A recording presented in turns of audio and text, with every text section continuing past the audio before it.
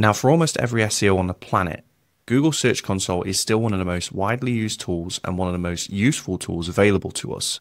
But the problem with Google Search Console, especially as someone like me who uses it almost every single day without fail, is it does become very time consuming when you want to start doing more complex things with data.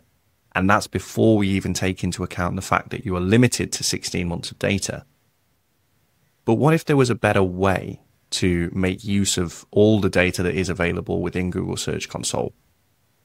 And that's where SEOTesting might come in. We've spent a lot of time over the past weeks and months developing a new dashboard for SEOTesting that, in our view and the view of our customers, helps make that GSC data a lot more useful. So if we jump into the dashboard here, you can see straight away that we have site performance in terms of the clicks that we're getting from Google. And we go way beyond the 16 months of data that is available within the main Google Search Console UI. This one here goes all the way back to the 1st of August of 2024. We can see that in a daily, weekly, or even a monthly view. And then we have options here to add in Bing clicks, Google impression, impressions that we're getting from Bing, our average position, click through rates, and even the click through rate that we're getting from Bing as well, because we have the Bing API access enabled within SEOTesting.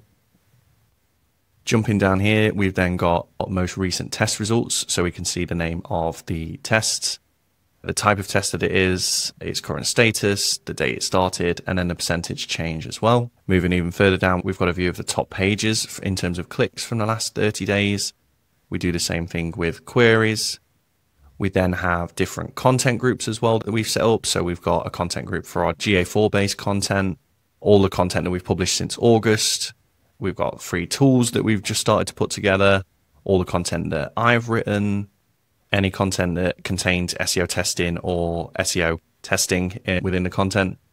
We've then got rank tracking as well, so we can follow along with some of our target keywords and see how they're doing, different sitemaps that we've got, and then we've got a nice little graphic over here to see ranking buckets per day. Now, all of this data is available within Google Search Console, except for SEO testing, but that's kind of our thing. But all of this data is available the problem lies in how much time and effort it takes you to get access to this kind of stuff. So it begs the question why not use SEOTesting to make better use of your Google Search Console data?